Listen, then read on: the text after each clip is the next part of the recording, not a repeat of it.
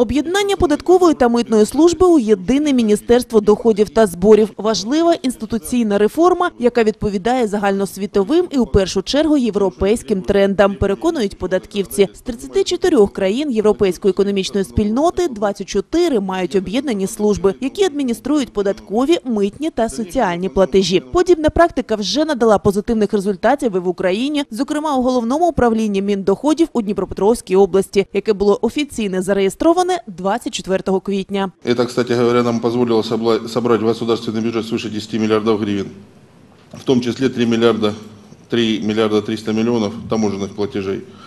Э, Кроме того, м, субъекты внешнеэкономической деятельности Днепропетровской области осуществили экспорта более чем на 22 миллиарда гривен. Это один из лучших показателей в стране на сегодня.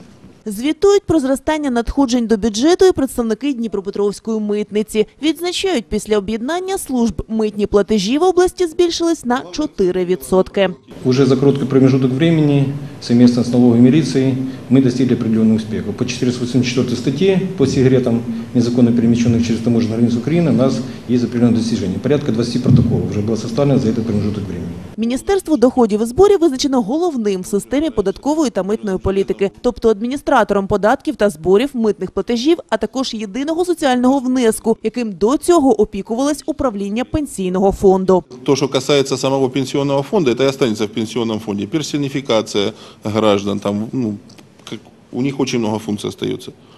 Там правильное определение стажа и так далее, и так далее. Это все остается за ними.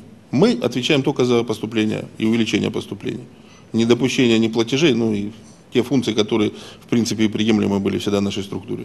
Загалом Міндоходів має забезпечити спрощення податкової та митної системи, підвищення якості та скорочення часу адміністративних послуг, а також зниження рівня бюрократизації.